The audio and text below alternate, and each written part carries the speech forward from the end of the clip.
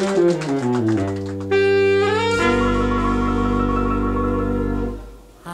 used to visit all the very gay places, those come what may places, where one relaxes on the axis of the wheel of life to get the feel of life from jazz and cocktails.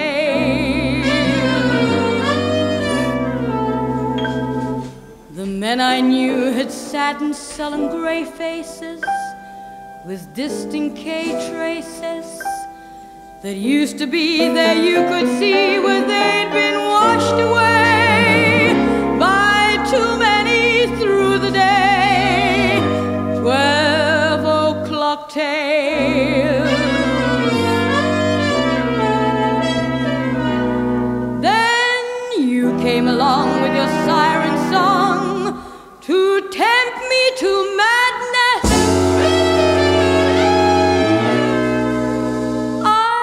thought for a while that your poignant smile was tinged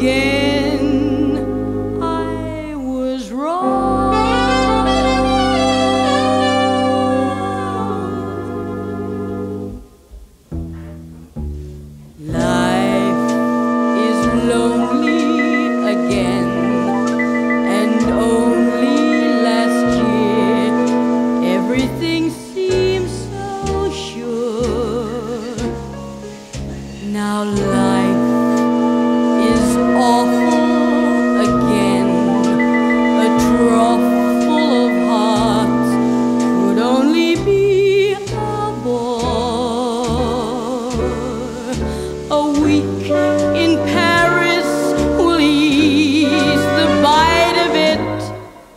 All I care is to smile in spite of it. I'll